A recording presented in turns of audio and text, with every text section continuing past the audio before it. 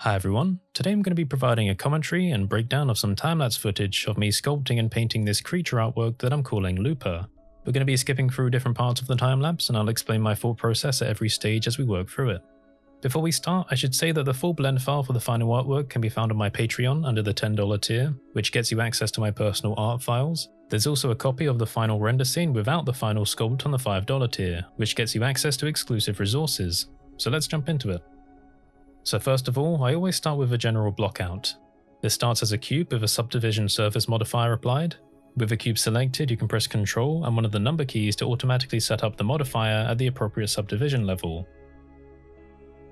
Then it's just a matter of going into edit mode and extruding, moving, and scaling different parts of the mesh to start blocking out a basic shape that you're going to sculpt over.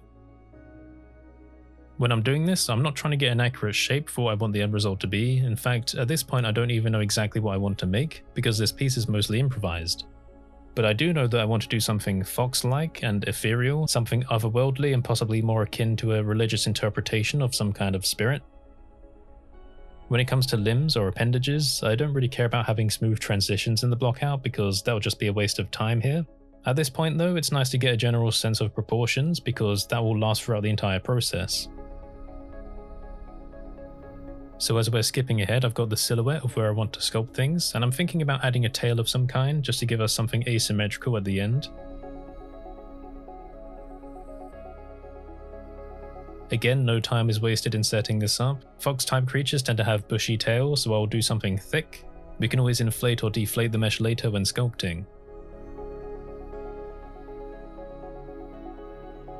So now the blockout is done, I'm trying to get my settings with sculpting for dynamic topology set up. It's been quite a while since I've done any proper sculpting, so I need to familiarize myself with the settings again. For this project, I'll be using the constant detail mode instead of the relative detail. This means that the density of the geometry will stay consistent over the surface of the mesh. I test different levels of constant detail, and then when I find one I think is appropriate, I will press the Detail Flood Fill button to make that detail level consistent across the entire mesh. Then it's just a matter of starting to chisel away at the base mesh to sculpt it into shape.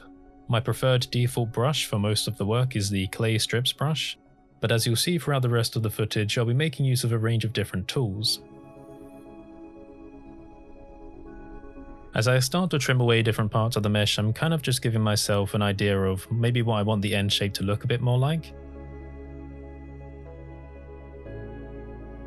And as you'll see popping up on the screen occasionally, I'm actually trying out the new Sculpt Wheel tool by JF Matheu, I'll leave an affiliate link in the description if you want to check that out. Basically, it's a way of accessing the sculpt tools via a pie menu, and it's super clean, it's customizable, and I actually had quite a lot of fun playing with it.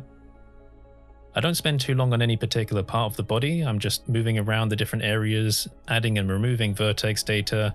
I tend to get into a technique of adding clay strips and then smoothing them down immediately afterwards. It's quite an easy way to build up geometry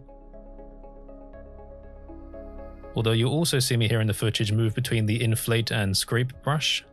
The inflate brush is good for if you have areas with tight geometry, like with the legs. You'll find that if you try and sculpt over these with larger additive brushes, you can sometimes create some geometry errors, but the inflate brush is quite good for this because it tries to expand the mesh in all directions.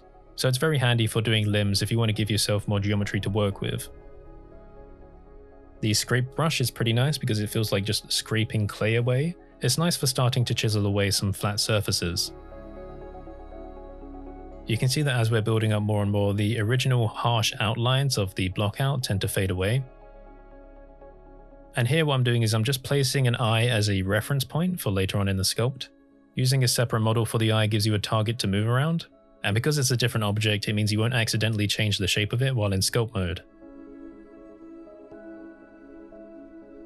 Here I'm just adjusting the back position of the tail because the shape of the body has changed since the blockout. And now I'm just moving on to getting a basic shape for the paws, using the crease brush to outline the different areas of the toes. But now I've got the block out into a nicer shape, now I'm going to move on to one of the techniques I like to do for improvised meshes, which is adding random additive details. Basically, if I don't know exactly what I want to make, I will add details in random areas that I think might work to inspire myself into a new direction. So a brush I like using for this is the snake hook tool because it's very easy to smudge the clay into different areas. This is good for getting different layering effects and for easily distorting the surface of the mesh.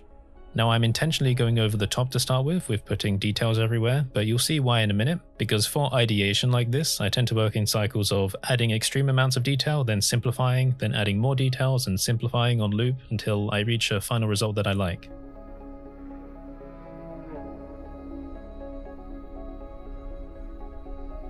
Now I'm not working entirely with references here, I do have one reference which is a model of a fox, but other than that, as I said, this is a mostly improvised piece, so we're dealing with ideation skills more than mimicry.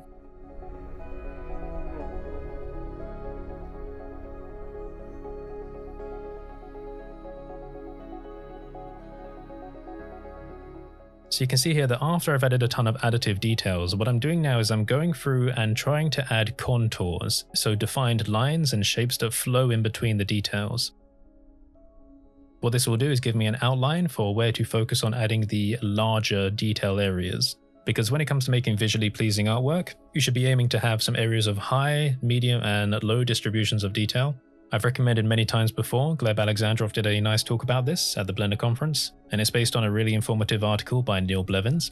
So now, as I said, I've moved on to a simplification part of this cycle, where instead of adding random details, I'm now simplifying the details that were there, because I think there's a bit too much on these front legs, but as I'm scraping away on this, I'm noticing that they're bent in a slightly strange way. So once I'm done with simplifying this, I'll start adding some mesh content to the front of the legs just to balance out the angle. The purpose of throwing in a random sphere here is just for final artwork. In my mind, it represents something, but it's just giving me some more visual balance when looking at the creature as a whole. So what you can see here now is that I'm starting to experiment with adding some more larger detail areas. Now as I'm adding them, I'm also undoing them as I don't think they work. So I'm just experimenting, adding areas of specific detail. If I don't like them, I'll get rid of them or simplify them down, but there's no harm in trying. Now some people might ask, what's the point of adding all these random details if you're just going to simplify them anyway? Well the point here is because we're talking about improvisation and ideation skills, distorting your mesh with random details is one technique you can use to inspire yourself into a new direction if you don't have an end goal in mind. The same thing applies with any other kind of modeling like hard surface modeling, and I talked a bit more about that in my tips for building a kitbash library video. So again using the crease brush I'm just experimenting with adding contours, additive and subtractive lines in between these areas. But now I really want to add some larger shapes to the main body. So kind of keeping in mind the contours that I had already placed down, I'm using the snake hook brush to add some larger sweeping shapes. So again, it's just part of this constant flow of disturbing the mesh, using the new look to inspire new areas to add more details and curvature, and then simplifying into a more defined shape.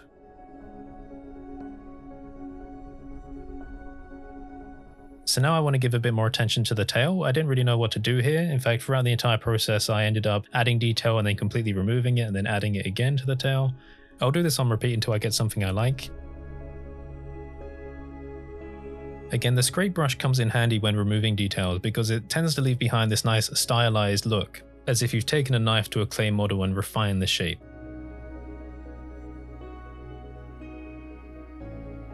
But now I've added some stuff to the tail, I'm going to go back to the main body, and I want to refine these large sweeping shapes that I've made.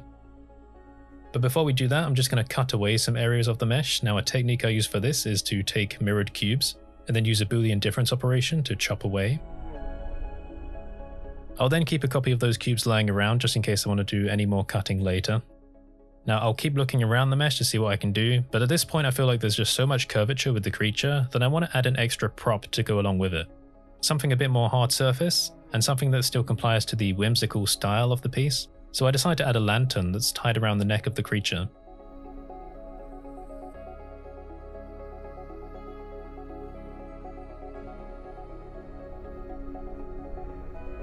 I'll use a curves object to get the string or collar. And then I'll just go back into the sculpting mode and add some details around where it's imprinting into the surface of the creature.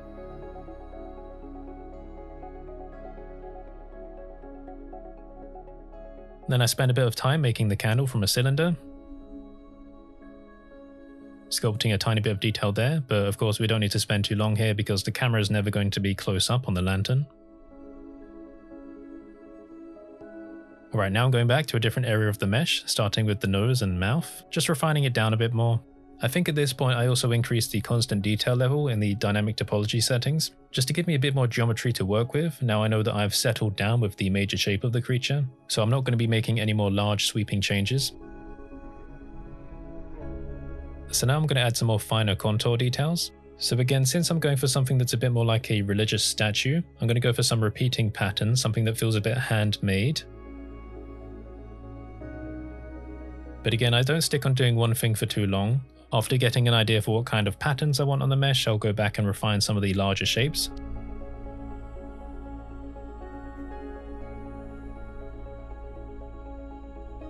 So you see I'm making some of these sweeping areas a bit more pointy. I'll keep using both the snake hook brush and the crease brush for this. For the crease brush, of course, if you just use it normally, it digs into the mesh, but if you hold control, it will create a nice ridge. In my mind, these wavy shapes represent the fur, but since it's all very solid and tightly packed together, I get a kind of ceramic vibe from it. And I'll hone in on this ceramic feel once we get to the whole rendering and material creation process. At this point, I do realize as well that at some point in the process, I turned off symmetry on the x-axis, but this is no big deal. I don't show you how we do it in the footage, but what I essentially do is I use a boolean to chop off half of the mesh, and then remove the face in between, then add a mirror modifier, slightly increase the merge distance, and that reconstructs the other side of the mesh for me. There are some other tools you can use to do that automatically, but it really doesn't take that much time or effort anyway.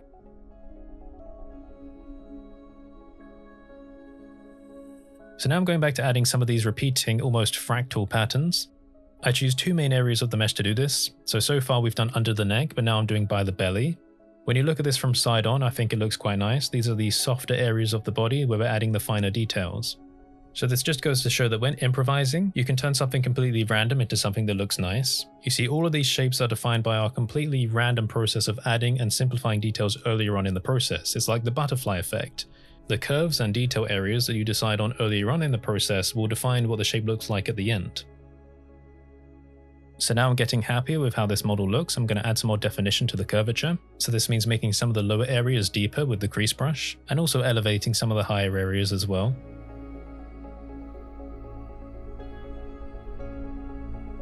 I decide here that the eye needs to be enlarged slightly, just to fit with the rest of the shape. And now the tail needs a bit more definition, just to follow on with the darker lines that we've got on the body.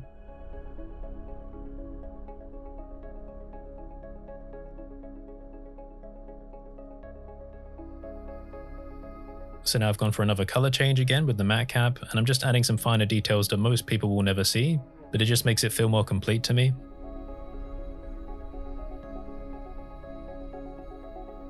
Oh, and here's another tip as well. If you press Alt and B, you can draw a render region, so you can choose to only show a slice of the mesh. This is good for letting you look around the object if you have other areas of the mesh in the way. And to show everything again, you can just press Alt B again and it will clear the region. Now when I started doing this, I didn't know whether I wanted to texture it or not, but then Charon from Just 3D Things convinced me to, so I did it. So I want to follow on from the whole ceramic idea, so I just gave it a base brown color and I'm going to add some painted details on. Now keeping this in mind, everything that I painted here was going to be amplified by a material later on, so I'm just going for highlights. I'm highlighting the core areas of curvature. Now as for getting the UV maps for this object, I was very lazy, and yes I did just do the Smart UV project. The original mesh was about 1 million vertices, so I decimated it down to half a million and then did the Smart UV project. But yes, if you've done this lazy way before, you'll know that this does create a lot of anomalies where different areas of the UV islands overlap. So you'll see that there are some random splodges of color over the mesh, but I really don't mind this because we're going to be rendering the character from a certain distance away. It's not really going to matter that much.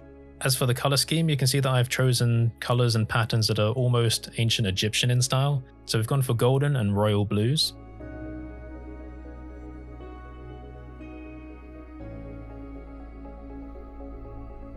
And once this is all done I set up the materials for the different objects. Now as for the main body of the character, you can see the main material here. What I'm doing is I'm feeding the painted texture into the base color. What I'm also doing is taking the ambient occlusion data, filtering it through a color ramp, mixing it with a noise texture to feather it a bit, and then using that to darken the base color before it goes into the Principled BSDF shader. And just for getting some simple bump variation on the surface, I'm also feeding a noise texture through a color ramp through the bump node and then into the normal input. So you can see here what it looks like. We've got some darkened areas, the normal input is giving us this nice glossy ceramic style to it, and the painted details shine through. And to make the scene really pretty, I'm using some techniques I showed you in my Create Beautiful Atmospheric Renders in Eevee video, which was done in cooperation with Sketchfab. And this is what the final workspace looks like. And then here's the final result after post-processing. But one more thing I want to show you is with the new viewport denoising with cycles, you can get some really cool painterly effects. So here's an example of the denoising trying to interpret the look of this model. So yes, if you want to explore this file in more detail, then as I said, the final art file is available on the $10 tier of the Patreon, but a simplified version of the render scene is available on the $5 tier, along with other exclusive resources. But hopefully you found this interesting, and if you did, then feel free to leave a like, leave a comment, subscribe, ring the notification bell. You can also follow me on social media or join our Discord server to take part in discussions, share your work, take part in challenges, and also get sneak previews of upcoming projects. So thanks for watching everyone, stay safe, have a great day, and I'll see you next time.